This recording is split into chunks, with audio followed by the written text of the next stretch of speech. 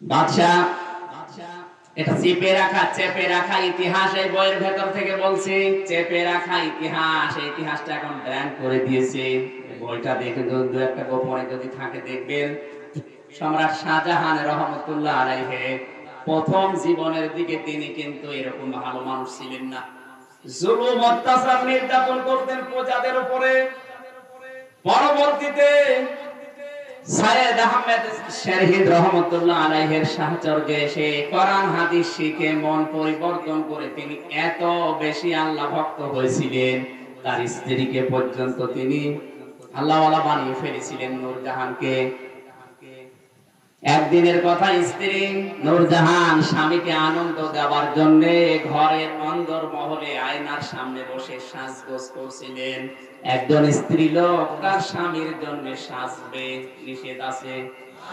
আসতে বলেন। মা বোন যারা এসেছেন, এবার তাদেরকে বলছে, আল্লাহর নবী জানিয়েছেন দুনিয়া কুল্লুহা মাতাউন ওয়া খায়রু মাতাউদ দুনিয়া ইমরাতুস সালিহা। পৃথিবীর সব কিছু সম্পদ, এর ভেতরে উত্তম সম্পদ হচ্ছে আল্লাহ মেয়ে মানুষ। গাজীপুরের মা বোনেরা যারা বসে আছেন, আল্লাহ মেয়ে মানুষ কাকে বলে? বড় বোরকা পরে ঘণ্টা দিয়ে পাঁচ ওয়াক্ত নামাজ পড়ে, রোজা রাখে আল্লাহ না। আল্লাহ বা নেককার মহিলা বা স্ত্রী হওয়ার জন্য নবীজি চারটা গুণ দিয়েছেন মেশকাত শরীফের তিন হাজার দুইশো বাহাত্তর নম্বর হাদিস। মা বোন যারা এসেছেন, এটা লিখে নিয়ে যান বাড়িতে যে মিলান, আপনার ভেতরে আসলে আছে কিনা? নেককার মহিলা নবীজির ভাষায় ওইটা, যার দিকে তার স্বামী তাকালে সে স্বামীকে আনন্দ দেয়। সাজগজ করে হোক, অঙ্গভঙ্গি দিয়ে হোক যে কোনো কায়দায় কথাবার্তা দিয়ে হাসি তামাশা করে হোক, স্বামীকে যারা আনন্দ দিতে পারে এরা নেককার। আর বাংলাদেশে এই নেককার মহিলার অভাব, এই জন্য পুরুষ মানুষ লাইন করে আপনি তো ঠিক বলবেন। আপনি তো লাইনে আছেন।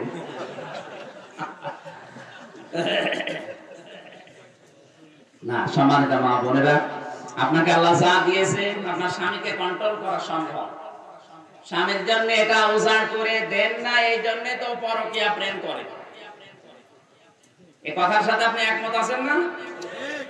জোরে বলেন, আমাদের পক্ষে বলছি তো। নেককার হওয়ার এক নম্বরে গণাবলী মা বোনদেরকে বলছি স্বামী আপনার বাড়িতে যখনই আসবে কাজ কারবার করে, অফিস আদালত থেকে ব্যবসা বাণিজ্য করে, আপনি স্বামীর জন্য সাজগজ করবেন, তাকে আনন্দ দেওয়ার জন্য, এটা নেককার মহিলার এক নম্বরে গুণ। এটা না থাকার কারণে আমাদের অনেকের পরিবার আজ জাহান নামের টুকরা হয়ে যাচ্ছে। যদিও বলেন, এটুকু আবার কি? এটুকু কি আপনি টের পাচ্ছেন না? যারা টের পাওয়ার ওরা টের পেয়েছে। দ্বিতীয় নম্বরে স্বামী যদি কোন কাজের আদেশ করে আর ওটা যদি জায়েজ হয় জীবন থাকতে হলেও মেনে নেবে। এরকম নেককার মহিলা তো এখন ঘরে ঘরে। যদিও দু একটা ছিল এ ভারতের সিরিয়াল এসে সর্বনাশ করে দিয়েছে। ওগুলো বসে বসে দেখে আর ওদের মতো চরিত্র বানায়। ওদের যেমন স্বামীর সাথে মিল নেই, স্বামীর কথা মানার কোন তোয়াক্কা নেই, ঠিক ওই সিরিয়াল দেখি ওইটাই করছে। সবচেয়ে বেশি ক্ষতি হয়েছিল, তুমি আসবে বলে। রাহুল আর নন্দিনী, মনে কিছু জানে না? আমার আয়ত্তে আছে। এই রাহুল আর নন্দিনীর ভেতরে মিল আছে? ওর স্বামীকে যেভাবে তোয়াক্কা করে না। অধিকাংশ মেয়েরা ওই চরিত্রটা নিজেদের ভেতরে আজ নিয়েছে একটি নেককার মহিলার গুণাবলী।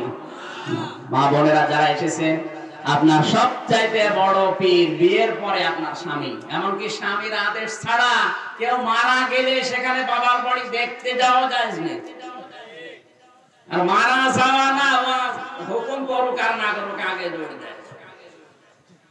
তৃতীয় নম্বরে গুণাবলীর ভেতরে বেশি আল্লাহর নবী বলেন, নেককার মহিলা ওইটা স্বামী যে পুরুষকে পছন্দ করে না, এরকম কোন মানুষকে সে ঘরের ভেতরে আসতে দেয় না। অনেক মহিলা শুধু স্বামী বাইরে যেতে দেরি। বাকি যা আল্লাহ ভালো জানে। চার নাম্বার গণাবলীর ভেতরে পেয়েছি নবীজি বলেন, ওইটা তো নেককার মহিলা, ওর জন্য জান্নাতের আটটা দরজা আল্লাহ খুলে রাখবে। প্রতিটি দরজা ওই মহিলাকে নিজের দিকে আহ্বান করবে। স্বামী যেটা পছন্দ করে, ওই মহিলা ওইটা পছন্দ করে। হয়। এখানে আমি নিজের স্বামী সহ যত স্বামী বসে আছে, প্রত্যেকটা স্বামীর পক্ষ থেকে বলছি, প্রতিটি স্বামী আমরা চাই বিয়ের পরে আমার মা বাবা যেন আমার সাথে থাকে। কিন্তু অধিকাংশ বউ এটা চায় না। কার কার বউ চায় না? হাত তোলেন তো। একজন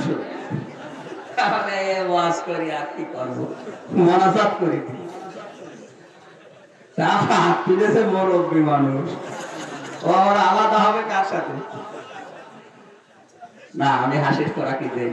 সম্মানিত মা বোনেরা, বাংলাদেশে স্বামীরা তার শ্বশুর শাশুড়িকে যেই মন নিয়ে, যেই নজরে দেখে পুত্র বধূ কোন যদি শ্বশুর শাশুড়িকে ওই মন নিয়ে, ওই নজরে দেখতো, তাহলে এই দেশে কোনো সন্তানের আলাদা হওয়া লাগতো না। বলেন!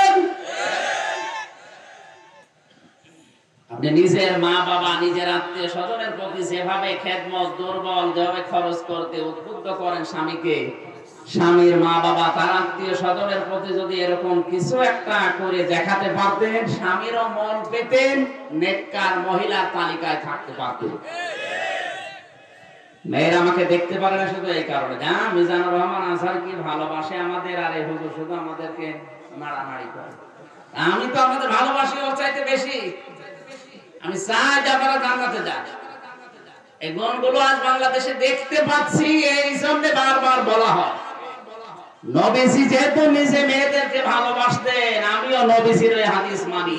পৃথিবীতে নবীজি বলেন, আমার কাছে সবচেয়ে প্রিয় তিনটা জিনিস। এক নম্বরে মেয়ে মানুষ। আল্লাহ কি?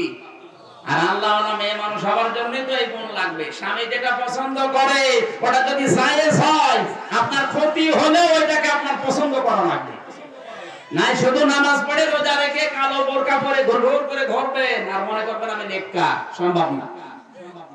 আমি তো নিজের স্বামী বলছি, আমার বাস্তব অভিজ্ঞতায় প্রতিটি স্বামী চাই বিয়ের পরে যেন আমার মা বাবা আমার সাথে থাকে। এরকম চাই না? কিন্তু অধিকাংশ স্ত্রী এটা চায় না। এই কারণে বাধ্য হয়ে শেষ পর্যন্ত বৃদ্ধাশ্রমে পর্যন্ত রেখে আসি। গত বছরে রাঙ্গা মাটিতে পেয়েছিলাম। কলেজের এক অধ্যাপক ওর মাকে রেখে এসেছে বৃদ্ধাশ্রমে।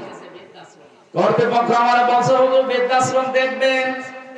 যে দেখি ওর মা ওর হাত ধরে সকাল আটটা না নয়টার দিকে কাঁদতেছে। কি কাঁদেন কেন? ছেলেকে বলছে, বাবা, আমি যখন মারা যাব, তখন আমার মাথার উপরে ফ্যানটা তুই পাল্টিয়ে দিবি।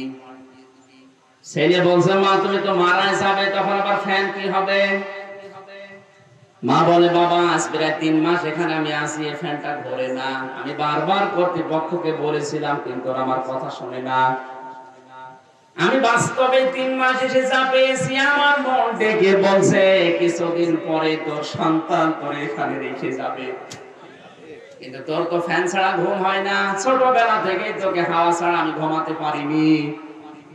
তোর কষ্ট হবে, তোকে আগে থেকে আমি অভিজ্ঞতা জানালাম, ফ্যানটা আমার মরণের পরে পাল্টিয়ে দিবি, তোর কষ্ট হবে। এই অবস্থায় দেখলাম ওর হাতের উপরে ওর মা মারা গেল।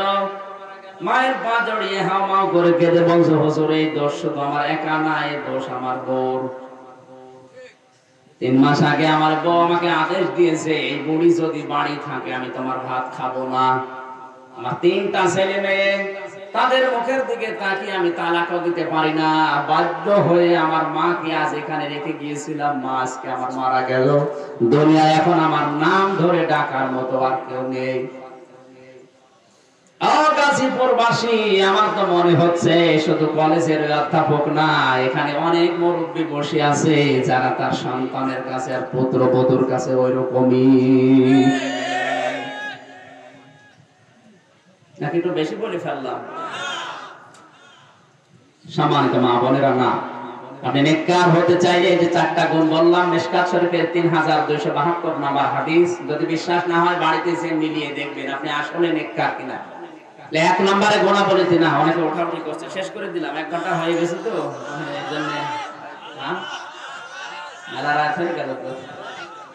এখন অনেকগুলো গোপন কথা ছিল। সাতটা পয়েন্ট বলেছিলাম না কেবল দুটা চলছে